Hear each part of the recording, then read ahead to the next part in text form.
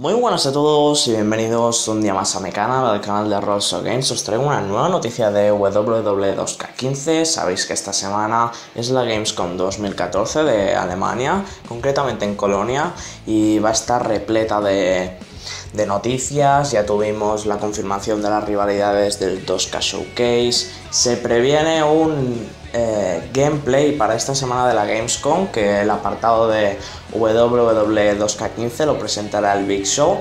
Eh, si queréis podéis hacerle preguntas por Twitter y él las responderá a las más eh, pedidas desde la Gamescom. Y vamos ya con la noticia que os traigo en este vídeo. Se trata de una nueva screenshot de dos concretamente. Una de Goldust y otra de Randy Orton. Vamos a analizarlas un poquito. Con la screenshot de Goldust podemos confirmar al luchador como, como confirmado en el roster de WWE 2K15. La verdad se ha comentado que la imagen es espectacular y como las anteriores, ¿no? Brutal, parece el realismo de, la WWE, es increíble. Y después la screenshot de Randy Orton, pues una más, ¿no? Ya hemos visto varias, bastantes de él y de John Cena, y esta es una más, pero nos sigue sorprendiendo a todos.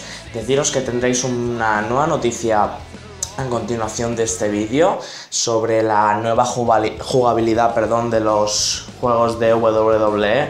Va a cambiar totalmente, va a ser una pasada vamos a vivir el combate como si fuese real y, vais a tener la información aquí en el canal, ¿no?